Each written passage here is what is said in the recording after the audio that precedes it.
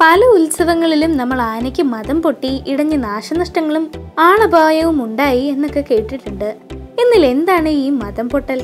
ശരിക്കും ഇതിന്റെ യഥാർത്ഥ പേര് മതപ്പാട് എന്നാണ്.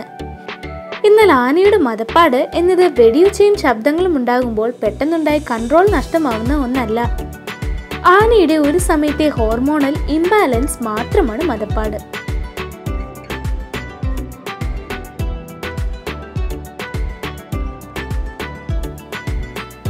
ഹോർമോണൽ ഇംബാലൻസ് ആണ് മതപ്പാട് എന്ന് പറഞ്ഞല്ലോ.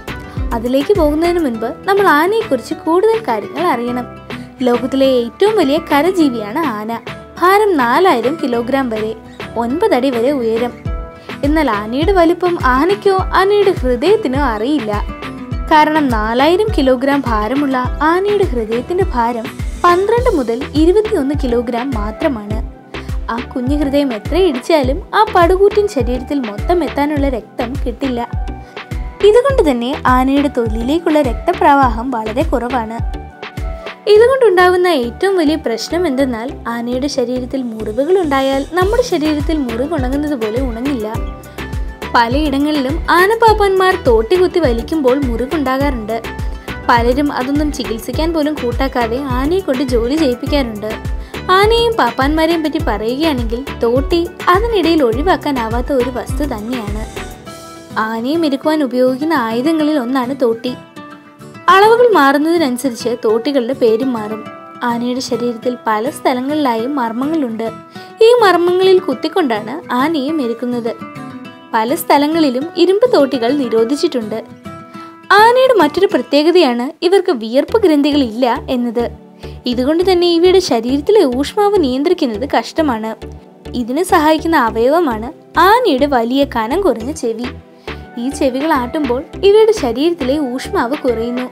പിന്നെയുള്ള ഒരു മാർഗം എന്നത് ശരീരത്തിൽ വെള്ളം തളിക്കുക എന്നതാണ്. പൂരത്തിനായി മണിക്കൂറുകളോളം നാം ആനയെ വെയിലത്ത് കൊണ്ട് നിർത്താറുണ്ട്.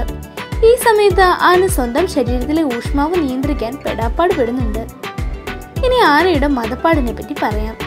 ആനയ്ക്ക് പ്രധാനമായും നവംബർ മുതൽ ഫെബ്രുവരി വരെയുള്ള മാസങ്ങളിൽ ഉണ്ടാകുന്ന ഹോർമോണൽ ഇംബാലൻസ് ആണ് മതപ്പാട്. ബാക്കിയുള്ള മാസങ്ങളിൽ മുഴുവനും ആനകൾ ശാന്തരായിരിക്കും. എന്നാൽ ഈ മാസങ്ങളിൽ ആനയ്ക്ക് കലിയാണ് ആനക്കലി. ഈ കാലയളവിൽ ആനയുടെ വൃഷ്ണങ്ങൾ സാധാരണയിലും വീർത്ത് വലുതായി തള്ളി നിൽക്കും. ഇവയുടെ ശരീരത്തിൽ സാധാരണയിലും ആറിരട്ടിയോളം ടെസ്ട്രോസ്റ്റിറോൺ എന്ന ഹോർമോൺ ഉൽപ്പാദിപ്പിക്കപ്പെടും. ആനയുടെ ചെവിയുടെയും കണ്ണിന്റെയും ഇടയിലായി ടെമ്പറൽ എന്ന ഒരു ഗ്രന്ഥിയുണ്ട്. അതിൽ നിന്നാണ് ടെമ്പോറിൻ എന്ന സ്രവം വരുന്നത്. ഇതാണ് ആനയുടെ മതപ്പാട്. ഈ സമയങ്ങളിൽ ചെയ്യാവുന്ന ഒരു കാര്യമാണ് ആനയ്ക്ക് വേണ്ടത്ര വിശ്രമം കൊടുക്കുക എന്നത്. കാട്ടിലാണെങ്കിൽ ഒരു സാഹചര്യത്തിൽ കൊമ്പനാന ആരെയും ശല്യം ചെയ്യാതെ എവിടെയെങ്കിലും പോയി ഇരിക്കും എന്നാൽ നാട്ടിലാവുമ്പോൾ നമ്മൾ അവർക്ക് വിശ്രമം കൊടുക്കുന്നില്ല. തോട്ടിക്കടിച്ചും കുത്തിയും ആനയെ ശല്യം ചെയ്യുന്നു. അനുസരിപ്പിക്കാൻ നോക്കുന്നു. എന്നാൽ അത്രയും നാൾ പാപ്പാന്റെ ലക്ഷ്മണ രേഖയ്ക്ക് അപ്പുറം കിടക്കാതിരുന്ന ആന ഒരു വക അനുസരിക്കുകയില്ല. എന്ന് മാത്രമല്ല കൂടുതൽ ശല്യം ചെയ്താൽ കാലെ വരി നിലത്തടിക്കാൻ യാതൊരു മടിയും ഉണ്ടാവില്ല. നമുക്ക് വളരെയധികം ദേഷ്യം പിടിച്ചിരിക്കുമ്പോൾ ആരെങ്കിലും വന്ന് ശല്യം ചെയ്താൽ നമ്മൾ എങ്ങനെ പ്രതികരിക്കുന്നു? അതുപോലെ ആനയും പ്രതികരിക്കും. ഇങ്ങനെ ദേഷ്യം പിടിച്ച് മടുത്തു നിൽക്കുന്ന കൊമ്പനെയാവും യാതൊരു വിശ്രമവും നൽകാതെ പണത്തിനായി തട്ടിപ്പിലൂടെ ഉത്സവത്തിന് കൊണ്ടുപോകുന്നത്. പറഞ്ഞാൽ ആനയെ വളർത്തുന്ന ചിലവിൽ ആനയെ കൊണ്ട് കിട്ടുന്ന ഒരു വരവാണ് ഉത്സവത്തിന് പോക്ക്. ലക്ഷങ്ങൾ ലഭിക്കും. ഇങ്ങനെ ദേഷ്യത്തിൽ നിൽക്കുന്ന ആനയും കൊണ്ട് ഉത്സവത്തിന് പോകുമ്പോഴാണ് അപകടങ്ങൾ ഉണ്ടാവുന്നത്. ഇതാണ് ആനയുടെ മതപ്പാട്.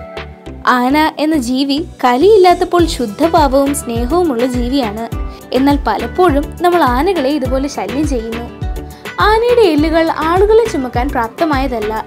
ടൂറിസ്റ്റുകളെ ചുമക്കുന്ന പല ആനകളുടെയും എല്ലുകൾക്ക് ക്ഷതം സംഭവിക്കുന്നു. കരയിലെ ഏറ്റവും വലിയ ജീവി സ്നേഹമില്ലാത്ത സ്വന്തം ദേഷ്യം തീർക്കാൻ തന്നെ ഉപദ്രവിക്കുന്ന പാപ്പാന്മാരുടെ പക്കൽ എത്തുന്നതാണ് ഏറ്റവും ദയനീയമായ അവസ്ഥ.